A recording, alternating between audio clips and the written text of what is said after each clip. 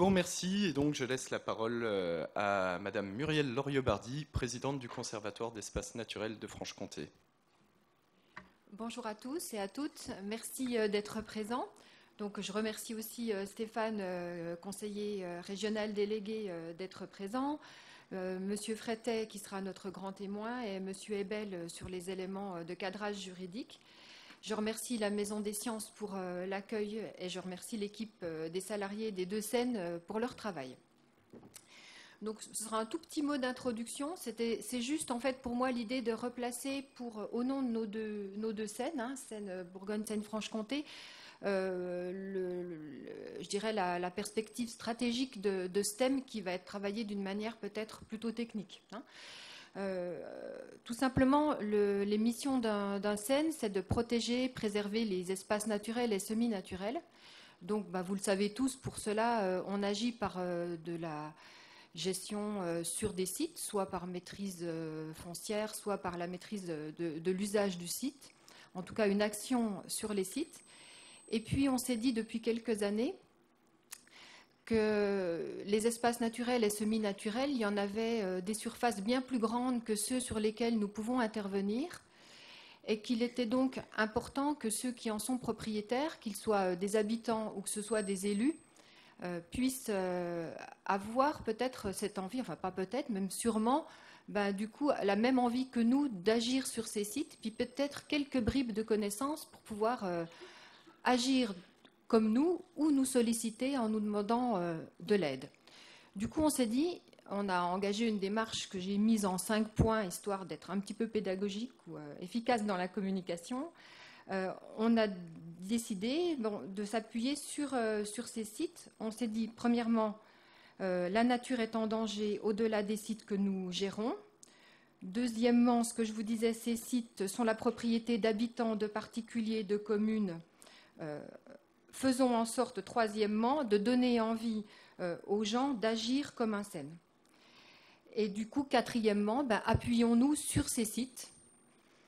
Alors, ce qui est important, c'est que l'idée de s'appuyer sur ces sites, pour nous, c'est que c'est d'ouvrir du coup quelques sites au public qu'on a choisis. Hein. on n'a pas ouvert tous nos sites au public. L'idée, c'est d'amener du plaisir. Il faut que les gens euh, aient envie de venir, aient envie de revenir, et en tout cas qu'ils partent avec une notion de plaisir, mais pas seulement. Il faut que les gens partent en se disant, il y a quelque chose euh, à faire dans la nature, même celle dont moi je suis propriétaire ou responsable, qui est transférable entre ce que je viens de voir et ce que je possède ou ce sur quoi je peux agir.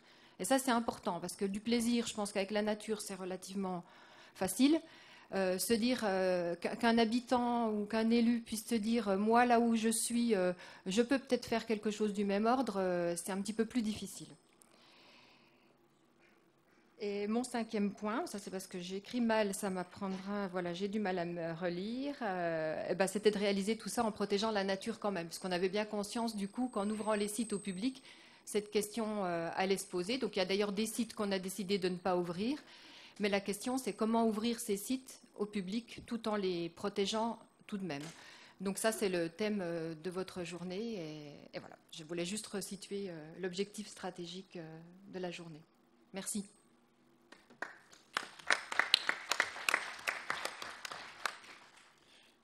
Merci Muriel. Je me permets de présenter, euh, avant l'intervention de M. Wojnarowski, euh, Régis Desbrosses, euh, secrétaire général du Conservatoire d'espaces naturels de Bourgogne, qui saura intervenir en conclusion de cette journée. Je laisse donc la parole à M. Stéphane Wojnarowski, conseiller régional délégué à l'agenda 21, à la biodiversité et au parc naturel. Merci. Bonjour à, toutes et à tous. Je vais être extrêmement court pour ne pas euh, prendre du temps sur les échanges euh, importants et intéressants. Je n'en doute pas qu'ils vont intervenir euh, après. Je voudrais d'abord pardon, remercier bien évidemment les conservatoires d'espaces naturels de Bourgogne et de Franche-Comté, ou de Franche-Comté pardon, et de Bourgogne, on est à Besançon. saluer, saluer leurs représentants ici, Muriel et Régis, et euh, vous dire que c'est avec grand plaisir que j'ai répondu, comme l'année dernière, à l'invitation euh, qui, a été, euh, qui a été faite pour cette journée. C'est toujours un, plaisir de rencontrer les gestionnaires d'espaces naturels de Bourgogne-Franche-Comté et je vous apporte d'abord les remerciements pour le travail que vous faites et ensuite les salutations de la région et de sa présidente, Marguerite Dufay. Euh, bon, on ne va pas se lancer dans un exposé sur la nécessité de préserver et de valoriser la nature et la biodiversité. On sait toutes et tous dans cette salle que l'érosion de la biodiversité, c'est une réalité. Donc elle est en lien direct avec le changement climatique, qui est euh, un des facteurs expliquants, mais pas le seul, et qui a une très très grande nécessité à agir et à agir vite. Alors ce n'est pas toujours simple, parce que la réalité du changement climatique est à peu près perçue, à peu près par une grande partie de la société, par ce qui est en train de se passer en ce moment. Hein, c'est euh, quand même quelque chose d'un peu, particulier. Euh, pour l'érosion de la biodiversité, c'est un petit peu différent. Il y a encore pas mal d'explications, pas mal de pédagogie à faire. Et euh, les actions que les scènes et que vous, gestionnaires, vous menez sur les espaces qui vous sont confiés sont là pour participer à cette éducation, à cette promotion, à cette information des citoyennes et des citoyens. Le Conseil régional de Bourgogne-Franche-Comté est impliqué euh, dans cette, euh, dans cette action-là. Euh, très rapidement, vous n'êtes pas là pour avoir une présentation exhaustive de nos politiques en matière de biodiversité, mais donc on est bien sûr un soutien euh, des, associations qui œuvrent pour certaines depuis très longtemps sur le territoire. Les conservatoires d'espaces naturels en sont. Il y en a bien évidemment d'autres, mais je les salue encore une fois. Je rappelle que nous avons signé avec chacun d'entre eux une convention pluriannuelle d'objectifs, montrant ainsi l'intérêt de la région pour leur action et notre volonté d'inscrire cette action dans, dans le temps. La région intervient euh, également euh, par un soutien aux classes euh, environnement. C'était un dispositif qui existait en, Bourgogne que nous avons étendu à l'ensemble de la grande région. Et puis nous sommes évidemment aussi impliqués sur tout ce que moi j'appelle les dispositifs en RB, c'est-à-dire régionaux pour la biodiversité. Alors il y aura bientôt l'agence régionale de la biodiversité. Je salue la directrice de l'agence de la délégation régionale de l'agence française pour la biodiversité, bientôt OFB, si j'ai bien compris, puisque est en cours de transformation. Euh, donc il y aura bientôt l'agence régionale de la biodiversité, bientôt l'observatoire régional de la biodiversité, bientôt, enfin il y a une stratégie régionale de la biodiversité sur la partie bourguignonne. Nous sommes en train euh, de travailler à l'écriture avec euh, vous. Vous serez bien sûr euh, associé pour la future SRB de Bourgogne-Franche-Comté. Et puis il y a eu la mise en place récemment du comité régional biodiversité que la région copilote avec l'État. Et je salue Jean-Yves Olivier de la DREAL ici, ici présent. Et puis il y a bien évidemment les espaces naturels que sont les réserves naturelles régionales. Ce ne sont évidemment pas les seuls espaces naturels, mais ils sont du ressort de la collectivité régionale en termes de classement, en termes de gestion que nous déléguons ensuite à des gestionnaires, mais auxquels nous participons, enfin au fonctionnement desquels pardon, nous participons euh, tous les ans.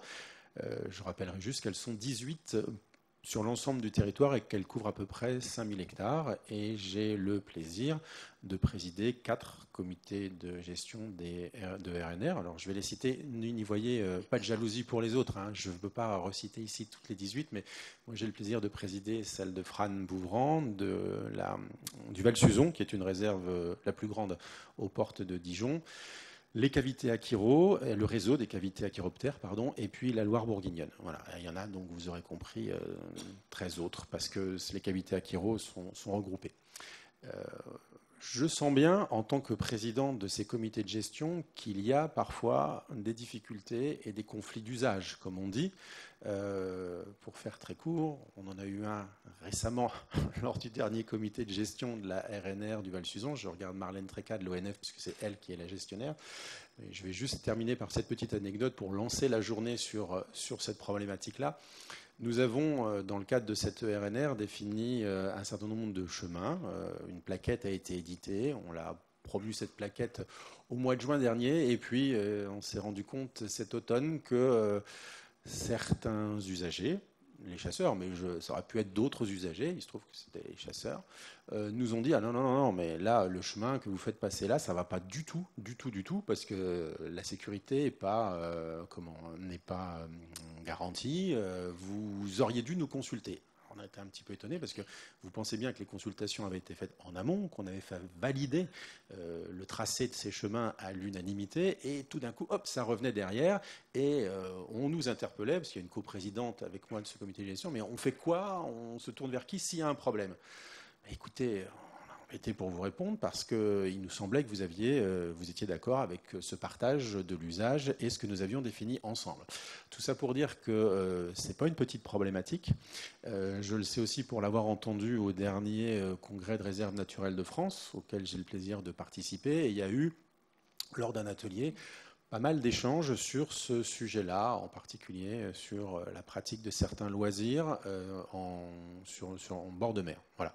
Donc, euh, c'est avec grand plaisir et beaucoup d'attention que je vais suivre vos travaux sur une bonne partie de la journée. Je ne serai pas là pour la conclusion je m'en excuse parce que dans le cadre de ma délégation, j'accompagnerai le vice-président Éric Coulet pour rencontrer les directeurs et présidents de parcs naturels régionaux en fin, d'après-midi.